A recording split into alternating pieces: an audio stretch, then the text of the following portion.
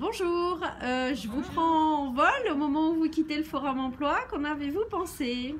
Très enrichissant Oui. pour ma part. Très, très, on, a reçu pas mal de gens, donc c'était super intéressant. Pour Ouais. moi, c'était la première expérience. Ouais. Donc, euh, super. On a super succès de manière générale. On a eu Euh, beaucoup de chance, ouais, en effet. Au niveau des euh, candidats, euh, 22 candidats, je crois, ce matin, quelques-uns cet après-midi, mais qui étaient plus sur le stage et l'alternance, donc c'est moins quelque chose qu'on recherche. Mais par contre, de très très belles candidatures Ouais. ce matin. Pas mal de profils différents, Oui. des gens super sympas. Très compétents, je Oui. pense aussi. Et je pense que le choix va être euh, difficile à faire. ok, bah bon courage alors. Merci.